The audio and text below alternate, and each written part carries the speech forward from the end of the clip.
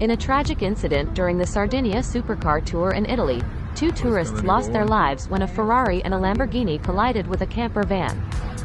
The collision occurred as both high-performance cars attempted to overtake the camper van simultaneously on a rural road in Sardinia. The Ferrari caught fire, leading to the tragic deaths of a Swiss couple inside the vehicle. The Lamborghini occupants, reportedly from India, were unharmed. Additionally, a couple in their 60s traveling in the van sustained non-life-threatening injuries, and they were joined by the Lamborghini occupants in receiving medical attention. Local authorities are investigating the incident and have seized the wreckage of all three vehicles. The incident occurred during the Sardinia Supercar Tour, an event where luxury cars parade and showcase their high-end vehicles. Hast gefilmt, ne? Ja. Geil. Hast du super Beweismaterial.